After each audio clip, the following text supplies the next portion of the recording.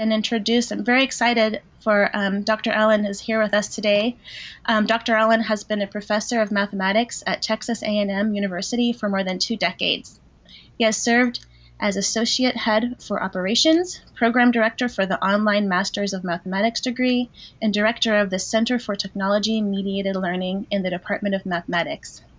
His mathematical research has been in the areas of probability, functional analysis, numerical analysis, neutronics, and mathematical modeling.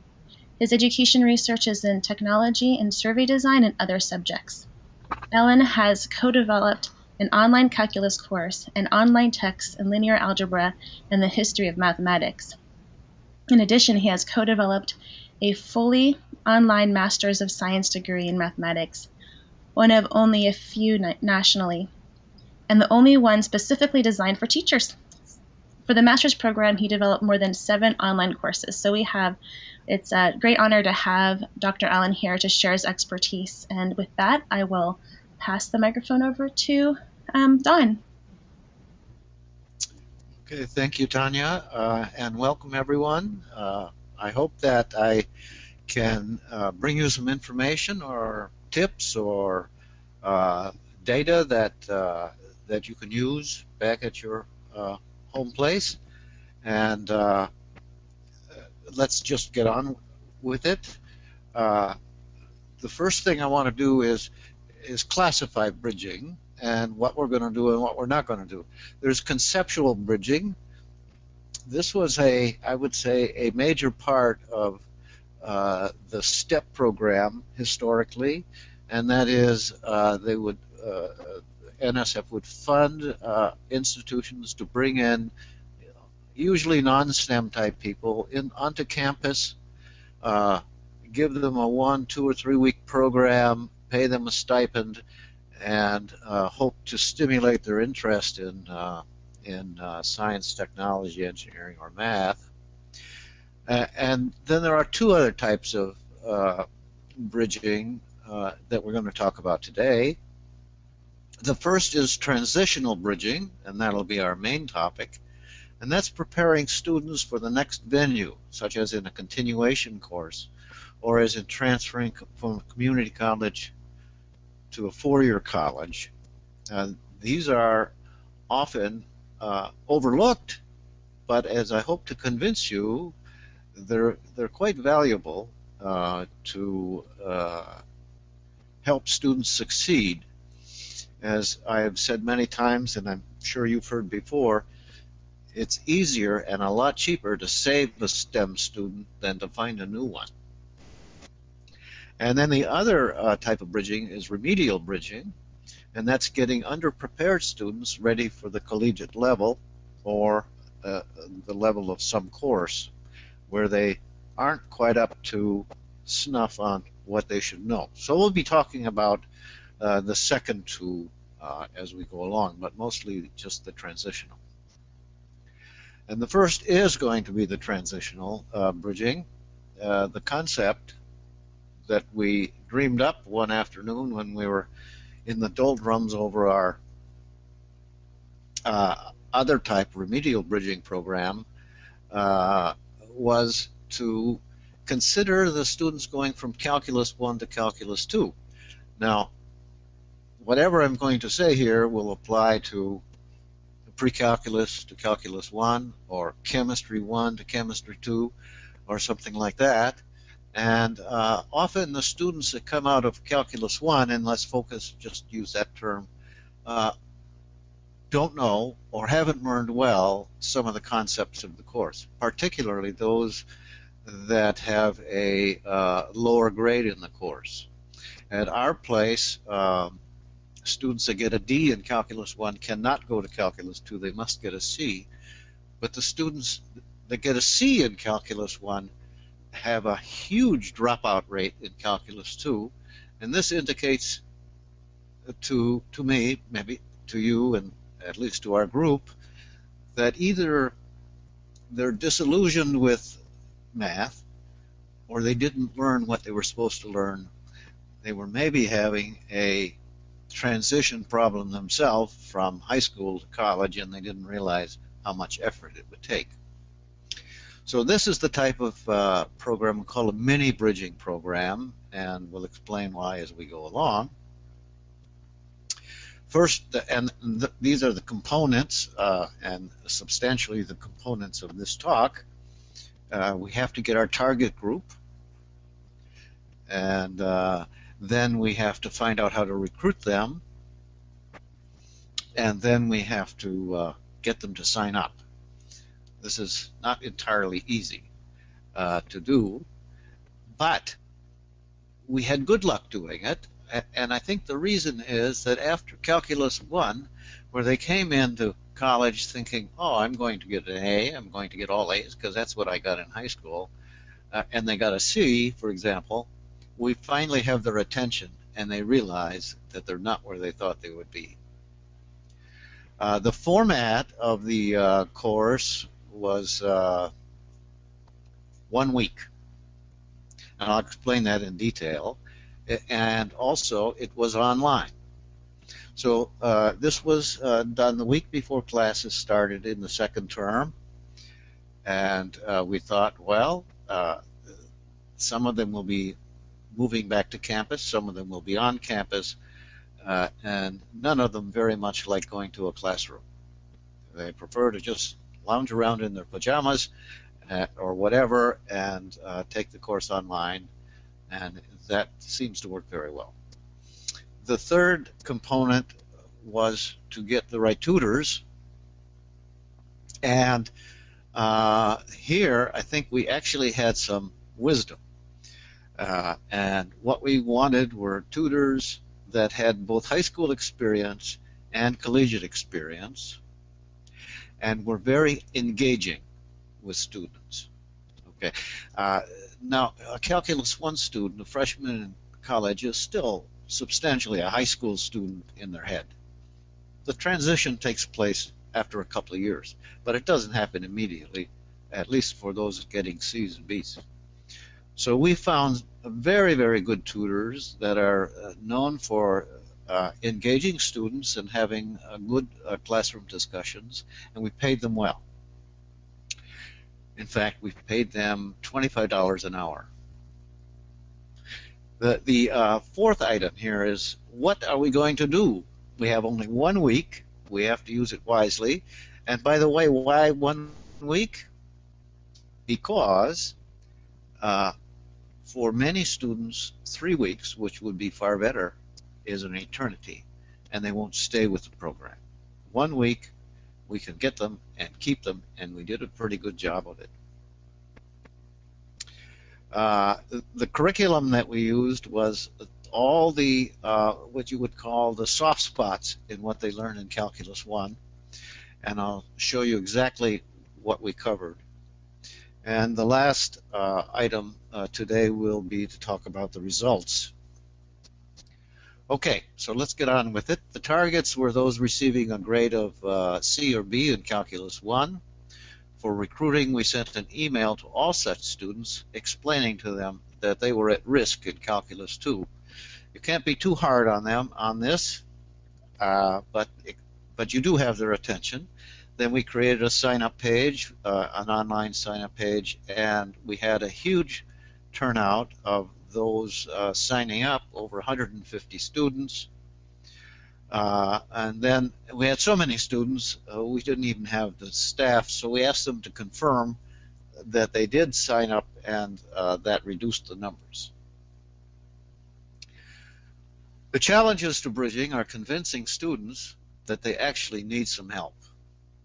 We had a just-in-time program during the first semester of Calculus 1, free, really great teacher.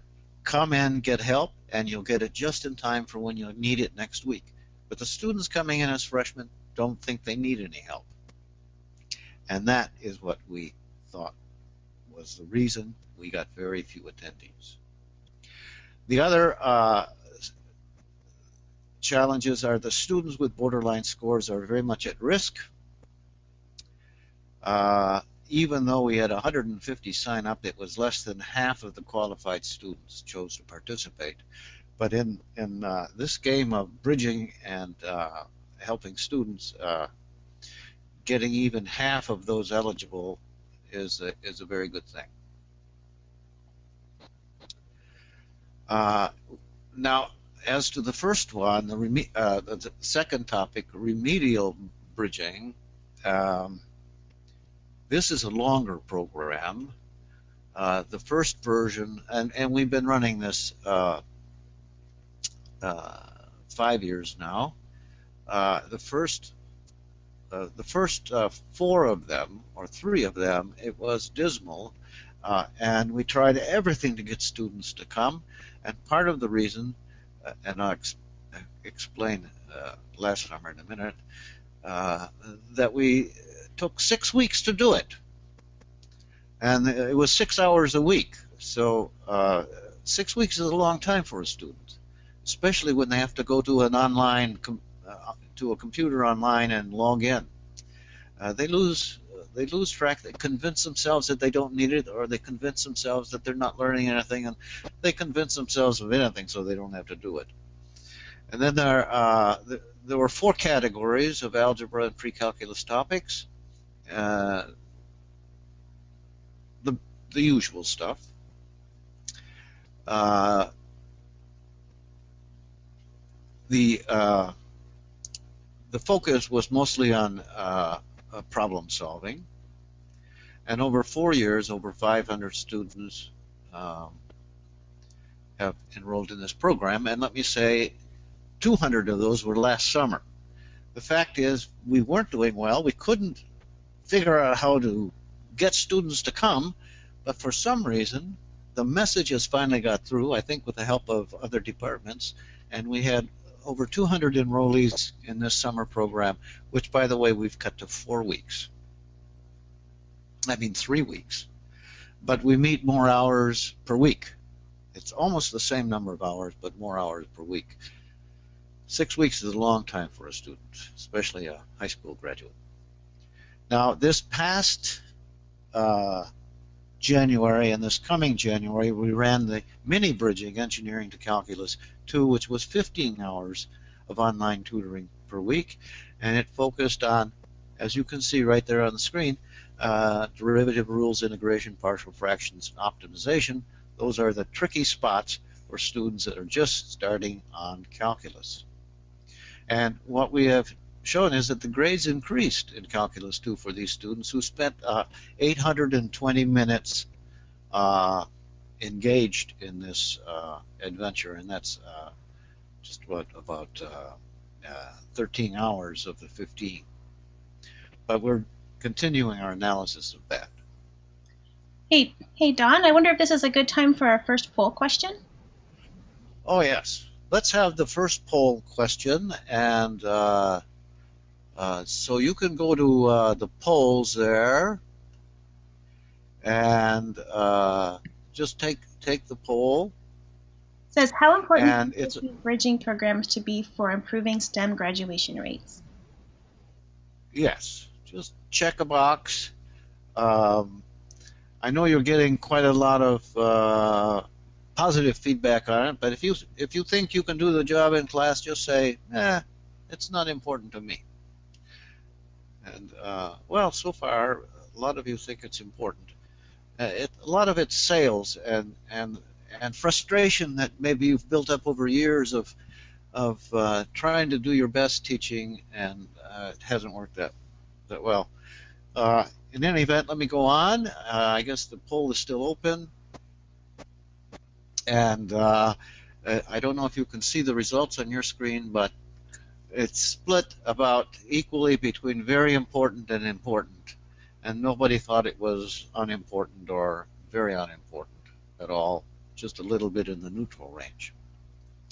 Okay, here are some of the features of the bridge to engineering calculus. It featured, uh, well, for one thing, the only eligible people, well, everybody's eligible, but the only people we uh, tried to recruit were those that were less than a cut score on a math placement exam. That's what MPE means. And we have our own in-house exam, and we've been using it for years. Uh, tens of thousands of students have taken it at this time. And we found only one error in it, but we fixed that years ago. Uh, It's 15 hours of live tutoring. Uh, it focuses on uh, trigonometry, parametric equations, and uh, uh, uh vectors. By the way, we do vectors in Calculus 1. Uh, there are calculus sequences without vectors. But often high school teachers skip vectors in their pre-calculus class. So students come in having no idea what a vector is, and they get demolished in physics and things like that.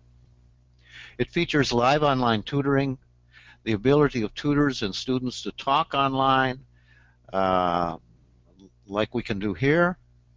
Uh, there's online breakout rooms. Uh, by the way, we used uh, NetMeeting for that.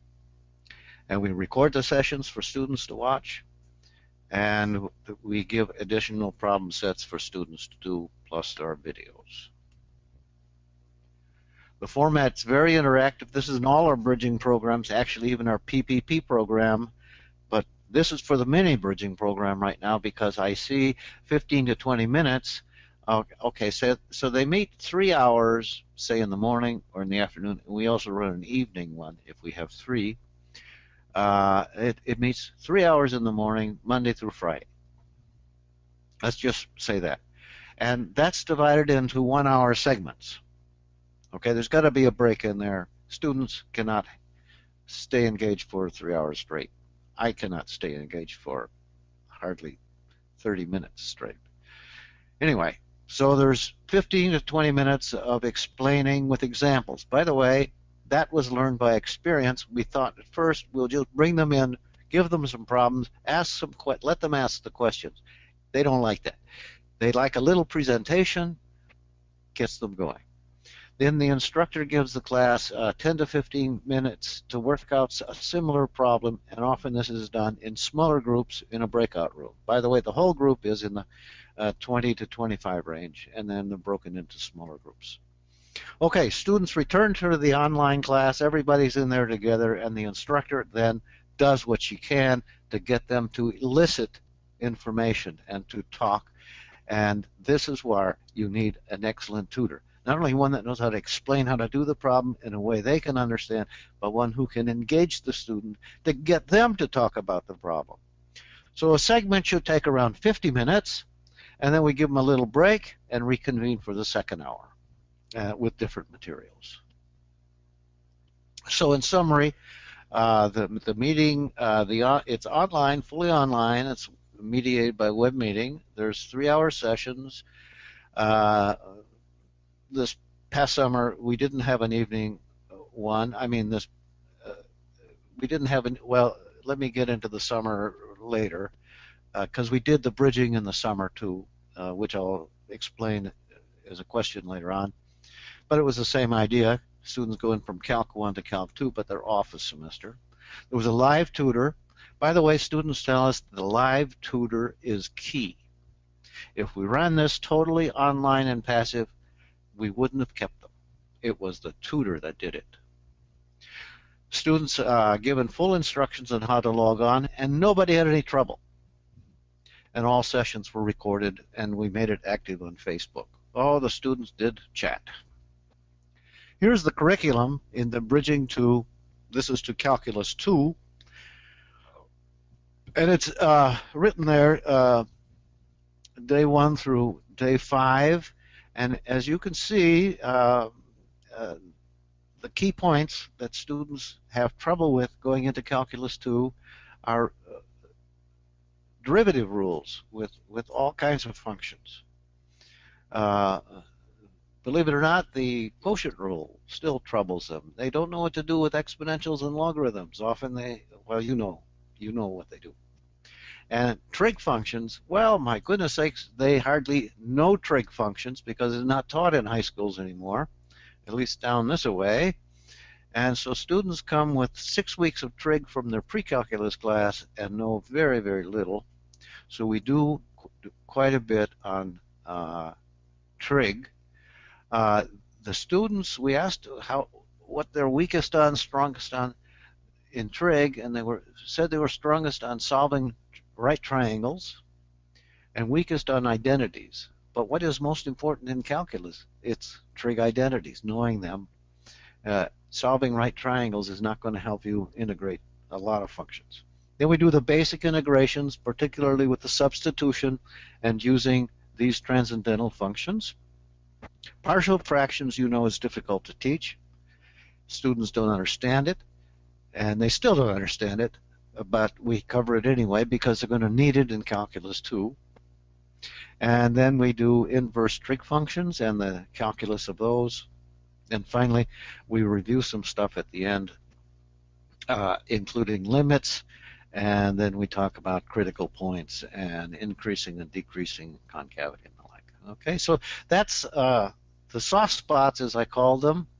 Our tutors are very experienced calculus teachers. None of them are from where I am, uh, so it's all online. One, uh, down there, you can see her name, it lives in Turkey, in Istanbul. Uh, no professors.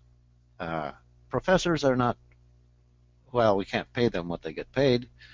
Uh, some, I don't know if $25 an hour would tantalize them, but it is a competitive salary.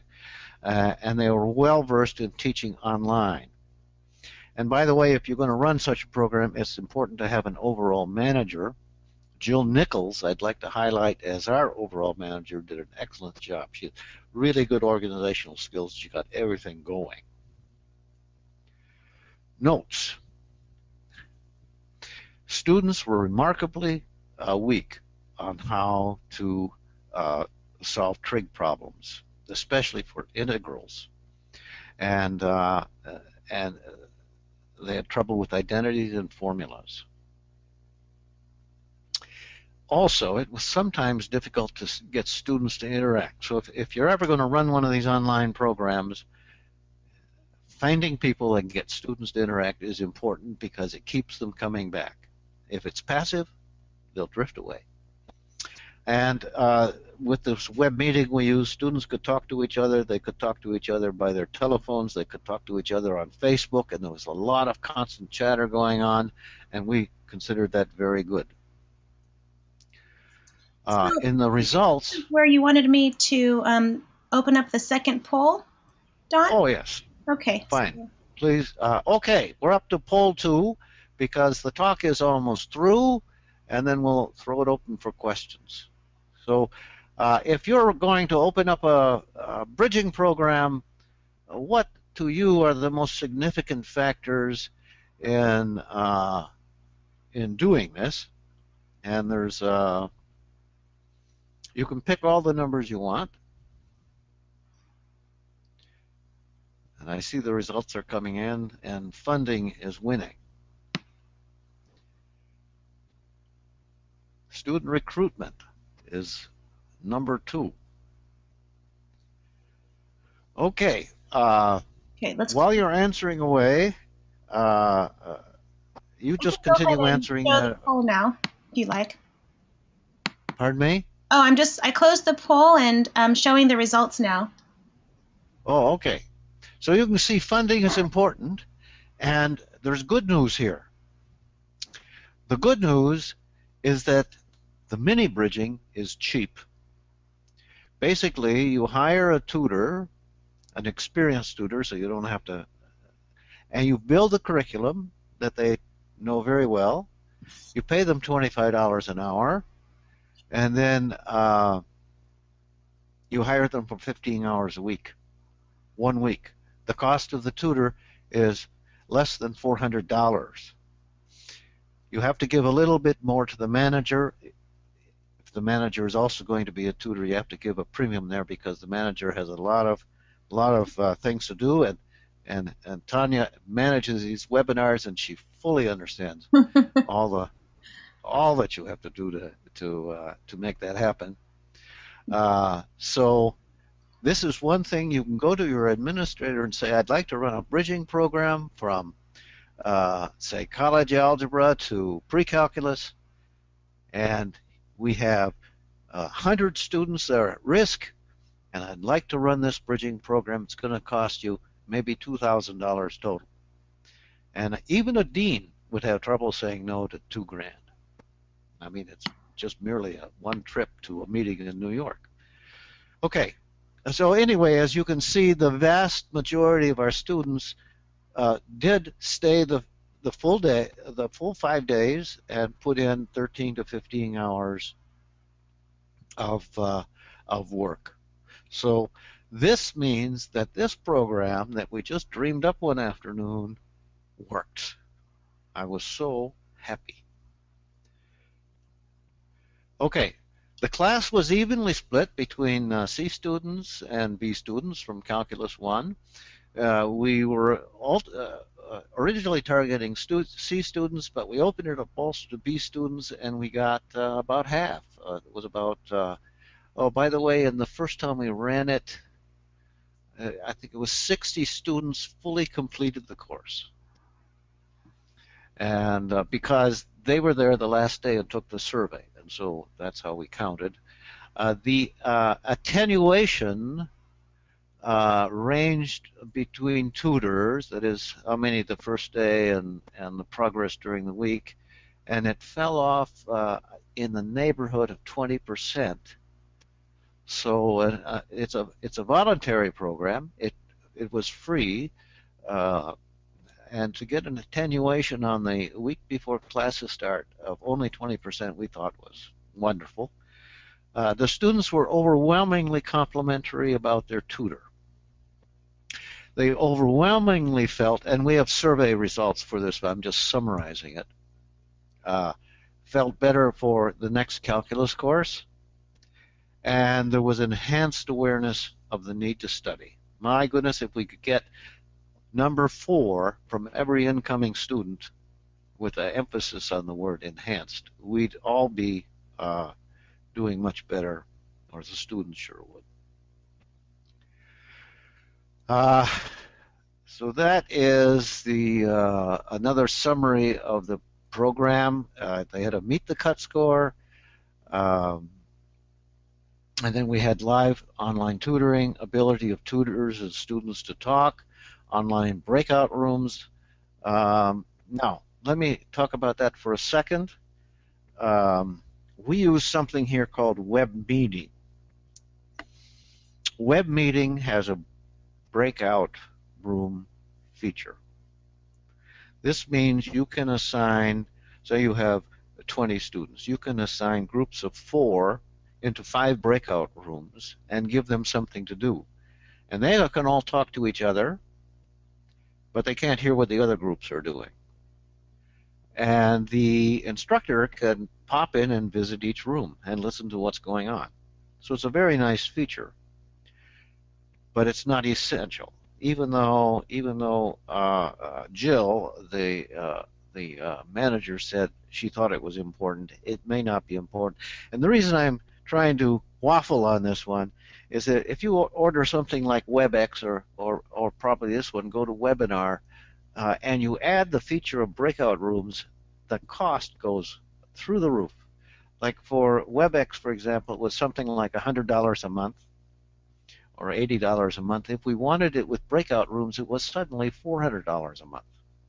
So breakout rooms apparently, and I, I don't think it's a programming problem, is a is a uh, marketable feature. Okay, and we recorded uh, we, we recorded the sessions, uh, and we made extra problems for practice, uh, which students generally don't do, and we made videos. Now, it's a nice thing to make the videos but um, and and when we started doing these videos years and years ago, we thought, oh, now students can come back and see the lecture and catch up, but or or listen to it again. But students don't do that as much as you might think. You know, I can remember when I was a student, if I missed what the professor said, boy, it was gone forever. Now, uh, in, in with this new technology, it is it's forever here, but students don't much take advantage of it. Uh, okay, and in a summary, uh, students overwhelmingly felt the bridge program helped them. It uh, refined their knowledge. It, it uh, helped them recall previous skills, and the recall is important because on things they've just learned, and then they have the long winter break, uh, or for the holidays, if you've just learned something that's already technical and you take a month off, a lot of it disappears in that month. So the recall is is a key point. And now our our grant that that all of this is done under has uh, advertised to the NSF that we want to be self-sustaining. It's a program like the mini bridging program, which is inexpensive and very effective, that can be self-sustaining because it is uh, uh, so inexpensive to run. And we so we thought, well, if we can charge the students twenty-five dollars, would we still get them to come? Now, twenty-five dollars for these students, it's it's a dinner and a movie, uh, so it's not much, but they were equally split on whether they would pay a fee. So uh, it's we may do it, but uh, I think we can count on the small amount of money that it costs each uh, semester uh, from our department or from the dean. We'll see on that. Okay, so that's the program, and what I will do now is open it for questions. Thank you. Yeah, I see one question. so I don't know what to do. well, you can go ahead and type your questions into your control panel. You have a question box, or if you'd rather ask your question out loud, go ahead and raise your hand, and I will unmute you. So I already see someone's got their hand raised. Susan Lasser, I'm going to unmute you, and let's see if this works. I don't know if I have a speaker. Can you hear me? Yes, we can. Oh, that's amazing. That's great. Um, I'm very intrigued by this program, Don, because I, I have run a uh, summer bridge program taking students in uh, on campus and uh, um, putting them in either pre-calculus or Calc 1, and we've had wonderful results, but we can't afford it anymore. Um, so uh, my, quest, my question is, did you have any problem as far as students having access to the technology? But I work with um, minority students exclusively. Oh, the, the question I believe is on access to technology, and the uh, there's a there's a long answer and a medium answer and a short answer, and let me give you a few answers. First of all, it's very helpful if your campus already uh, subscribes to one of these uh, online conferencing tools, such as GoToWebinar or WebEx or Web Meeting. There's Web this and that. Centra is a very good one that I've used in the past. And if your uh, if your uh, if your um, uh, campus already has one, and they may, uh, then you can use it. If you are a Blackboard campus and you have Blackboard Collaborate, you can do it on that as well. The only problem I can see is uh, that sometimes with Blackboard, only registered students are allowed to join in. So you have to make sure the permissions are, if you're going to run a summer bridging, uh, to get non-students to enroll. And uh, so that that's that. That's on the conferencing.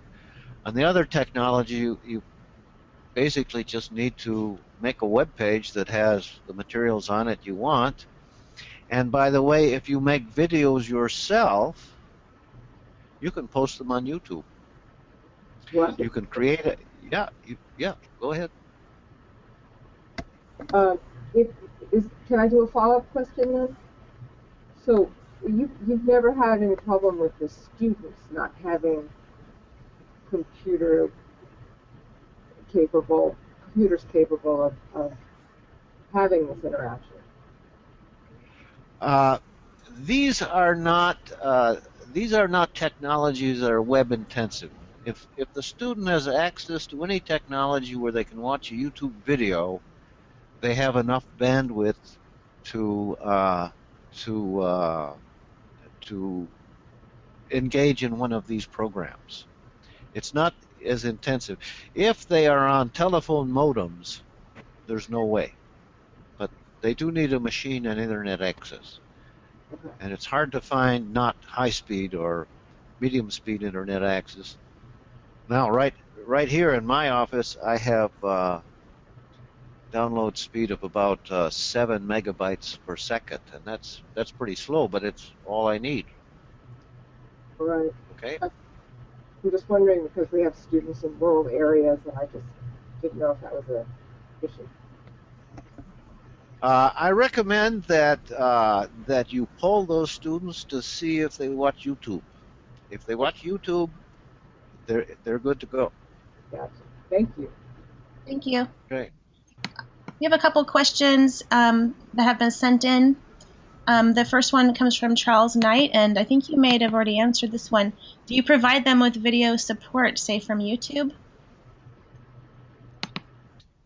Uh, video support in the sense of uh, what to do if they can't, uh, if they are having trouble watching something, or uh, I'm not quite sure what video support means. Okay, maybe They only need a browser. clarify that. He's probably typing it in right now. Let's go to the next question then until we get some clarification on that. Um, from Anthony Giovanniti. What was the success rate in the class that was bridged for these students? Uh, we're still analyzing that, but we have noted in comparison with the control group, and what's the control group? The control group are those that don't take it. Is that for those that spent in the mini bridging program more than 80% of the time in the program, they did uh, experience an increase in grade. Now, a statistician could tear to pieces what I just said by saying you didn't have a properly designed control group uh, in the sense that we should have taken 100 students that really wanted to go into the program and said, okay, here 50 of you, we're not going to let you in. And 50 of you, you can come in and then compare how those students do. So the bias in the study is that those that came in really wanted to be there. And maybe for some reason had a greater motivation. But the grades were increased. I can't say by what grade point amount at this time. We're, we're still working on that. Okay, does that does that uh, get partway through what you want us to know? I think it sounds good that it's a question that was typed in. Yep, he said thank you. All right, we had some clarification from Charles's question. Um, he wants to know if that you provided a set of videos that you have selected and loaded into Blackboard. Like for Yes, we, we do have videos. We have videos, uh, and we make those available. Uh, we we don't we, we use Blackboard, but uh, we didn't put them on Blackboard. We put them on uh, another uh, thing that we use. It's called WebAssign, where we set up the these uh, courses so that they could see the curriculum and everything. And they already had accounts on WebAssign from the previous semester, so that's where we put everything. But it could equally be put on Blackboard. It's the the trick, of course, is making the videos, and uh, it would be easy to do a workshop right here at Step Central on how to make videos for people that don't know how to do it. And and believe me, the webinar would take uh, 30 minutes because it's so easy to make them. All you need is the tool, such as Camtasia, and a headset, and, and you're ready to, to, to, to make videos. Um, in the early days, it was difficult, especially on the rendering, but now it's so easy. And you can use uh, um, YouTube, as I said. You can create a uh, your own channel on YouTube. Okay, great, thank you. Um, the next question is from Charles Knight. Um, what online program did you use for the problems? Your own, ALEKS, or WebAssign? Uh, we used WebAssign. However, you could use uh, ALEKS. You can use any tool. You can put the problems. You can make a web page uh, right on your uh, right at your home page, and give them the link, and uh, the problems are there. If you want the problems to be multiple choice and they get the correct answer and everything like that, then that's a little more serious, and you do have to use a tool, such as Blackboard or WebAssign or ALEKS. And then uh, if you're going to use ALEKS, that's mostly, as I understand it, in control of McGraw-Hill, and I'm not sure that they'd allow you to use it uh, for your own ends, not in a course uh, of their designation. But you can check with them. But ALEKS uh, is a good one. Another one is uh, the the Pearson product. Uh, what's what's the Pearson product called? It's uh, My Math Lab. That's another one, and and actually you can use problems that are already there uh, if they allow you to shuffle them around, and so that those are a couple of ways to do it. Okay, great, thank you. Um, Nicholas Valentino asks, what kind of support do students who do not pass the math placement test receive? Or students who receive a D in the first calculus series? Okay, that's two questions, and I'll take the second one first because it's easy. Uh, students that get a D in Calculus 1 have to take Calculus 1 again, and there's no support. However, at our campus, we have help sessions every week.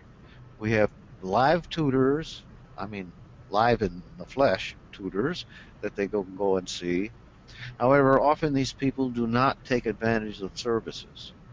They do take advantage of these off-campus uh, tutoring services that really advertise that we're going to get you ready for the grade. They don't teach that much. They prep you for an exam. And if the exam comes out in, in correlation to the prepping, the student might do well. But these students have all kinds of problems. One, they may not have worked very hard in the course. They may not be able to read very well. They may not be able to hear very well. Uh, and uh, uh, their math background may be poor. Now, uh, what do we do uh, for students that don't do well on the MPE, the math placement exam? Well, right now, as long as we have the money from the NSF grant, which we will lose at the end of next summer, is we have this summer bridging program which lasts three or four weeks, and it's much more lengthy. And we have another type of program for pre-calculus that we're just starting, and uh, and I uh, it was a sort of spin-off from this. So okay, uh, that's it. Yeah. Okay, great. Um, thank you. Uh, Charles Knight asks, um, I'm going to put these two questions together, um, whether or not you provide computers or calculators to the students. Uh, in our pre-calculus course and our calculus course, we do not permit calculators to be used. Okay, so there's no calculator support. However, for students on campus, uh, there are computing labs all over the place where students can can get uh, technology help. Uh, the only courses that we allow calculators in are business calculus and finite math. Those are the only two. We don't even allow them in the college algebra class. Um, there's all kinds of reasons uh, why one would or why one wouldn't, and mostly it's what you believe works. But we, we can leave that for another day. Uh, but that's it. Uh, yeah, so there's computers available, and the university will also rent you a computer if you if you want. Thank you. All right, so on to the next. We got some great questions here, so thanks everyone for sending questions.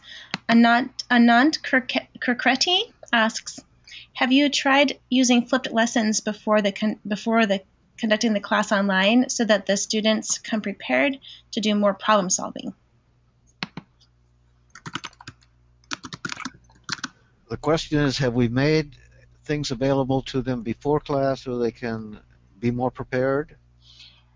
right to yeah so ask them to um, watch the the lecture online first and then use the class time to do problem solving yes that falls that's a good question and and i'll tell you why because i'm gonna i'm gonna politic a little bit or so on that is a sort of a variation on flipping the classroom uh, and getting them to do something ahead of time and uh, and then be prepared. Now, we had flipping the classroom back when I was a student, and that was a hundred years ago.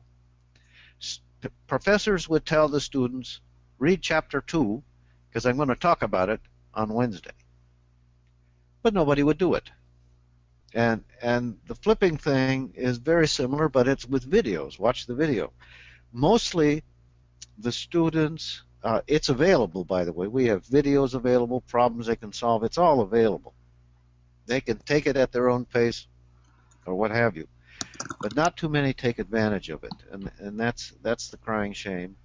That will have to be a, a culture of students stemming from probably uh, grade school or high school. But now it, it's uh, they don't do it, and that's why we have these very very polished uh, people engaging them in the live sessions, uh, because we can't count on them preparing anything.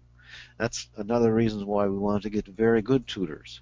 If students would read ahead of time before they came to class, or they had a general habit of that, uh, we wouldn't have some of the problems we're having. I think so. There's my half political, half practical answer. Thank you. I, um, I just wanted to um, point out Charles Knight made some comments here. Um, there are very good videos available with, within YouTube, so you don't have to make your own. And then he also points out that it's easy to set up a course, in ALEKS for less than $75, and My Math Test is available for only 10. So sharing some some good tips there. Oh, thanks very much. I wrote that down. my math test. My it's called mymathtest.com. Yeah. Um. Let's see. Yeah. My math test. Capital M Y, okay. capital M A T H. Right. There's also WebWorks, which is a big NSF-funded project, which is a complete online grading system with uh, thousands of homework problems, and it's all totally free. Webworks.net or webworks.org. Very good, uh, and uh, since it's free, a lot of people don't want to use it. Okay, yeah, Charles is confirming that my math test is uh, Pearson. Oh, yeah, yeah. Pearson has been a pioneer. They had a vision even uh, 15 years ago and they pursued it, while a lot of the other publishers were uh, floundering, uh, trying this and trying that. Pearson has a solid program, and it makes money. What uh, if I can editorialize a little more? Uh, I talked to uh, the publisher at Pearson, and then and I said to him one day, I said, you know, the textbook has become a secondary resource, and he said, exactly. It's the online homework system that basically sells the books. Great. So we have a few more questions. Um, let's see. I want to make sure I got to. Um, Mary Fleming Hughes asks, "How can I target transfer students from two-year colleges for a summer bridge program?" How can I target them? Well, first of all, you have to target which two-year colleges you want to go to and then get with your registrar and see who's applied to your campus and get access to the grades. Now, each one of those is a task. And then you have to decide on the basis of the grades who you're going to invite to the program. And of course, you're going to have to have a capacity of the program and who you will not invite. Now, when we started our uh, our uh, first program, our summer, our big long summer program, we did not target the worst students. We targeted the students we thought we could save. So they weren't the people at the bottom of the math placement exam. They were people that ju were just below the cutoff and not too far down from that. You have to make a decision on who you can save and who you can't save with the amount of dollars you have. Is is the uh, best answer I can give to that question. Okay. Okay. Um, well, one more question from Charles Knight, although I think you may have answered this already, is if whether they do homework. Do they do homework? Oh. Uh, that's a good question. That's a very good question. And we had to make a compromise on, on the mini bridging. We had to make the live sessions extremely high quality. So even if they did no homework, uh, they'd still get value from the program. But there was homework available to them. We gave problems for them to do, but we did not check that they did them. There's no grade associated with this, no certificate associated with it. It was strictly a voluntary program.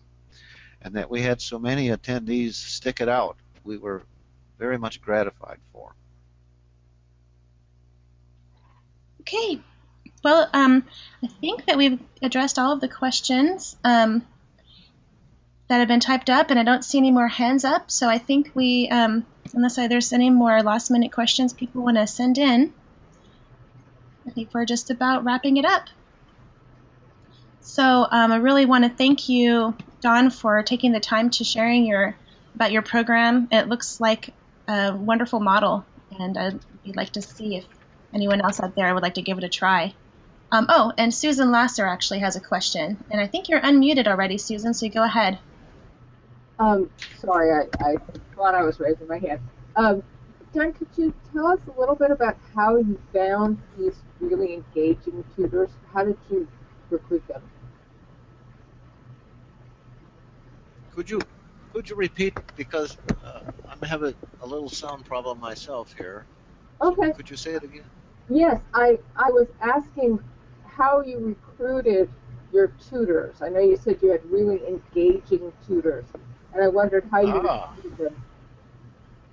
That is an art I know. because you you really need a program manager. That's one thing who knows the lay of the land.